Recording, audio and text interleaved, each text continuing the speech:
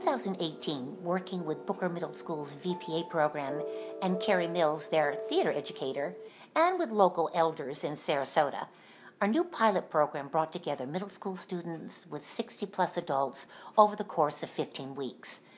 The generations were paired one by one, honed skills such as active listening, creative interviewing, storytelling, and writing.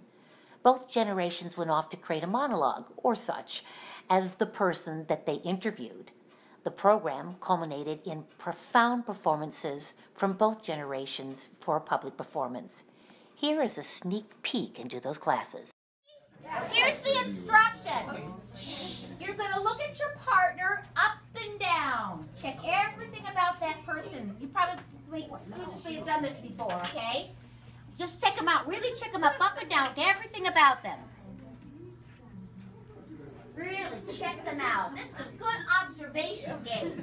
This is Alan. He's, he used to be a teacher and he's very excited about history and learning about giving history to um, younger people and learning about history from younger people. Basically trading. It's almost like 100 years of history. Ava, and she is uh, very excited about uh, being here and doing this project. And uh, she, she works with her dad sometimes building things. She has exciting uh, pink hair. And, and I like she- that. She's, she's very outgoing, and uh, she likes meeting new people. And it's exciting to her uh, wherever she goes to say, "Oh, there's a new person. There's a new person," rather than reading books because books can get boring. So. So she had, she was really, I can, all I can remember is her being like all the naughty ones were. like picking up like SpongeBob and like using that like I know when they first invented chocolate. Oh, I hated it. went out. It went out by horse and wagon. This was before the railroad. Well, they, they wanted to build a different line. But the problem was we had enough money after they crossed the any,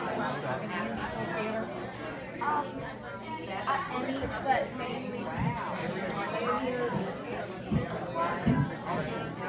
And this is what how you wanted to spend your adult life. So you want to be an athlete. When did you know you wanted to be an athlete? Well, I was, when I was five, I started at Venice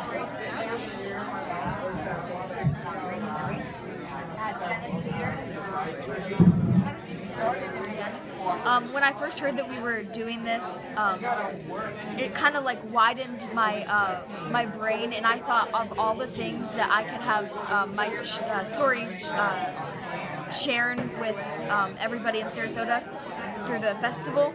I got so excited, and I was so happy that I got to write my own monologue based on the person that I was interviewing.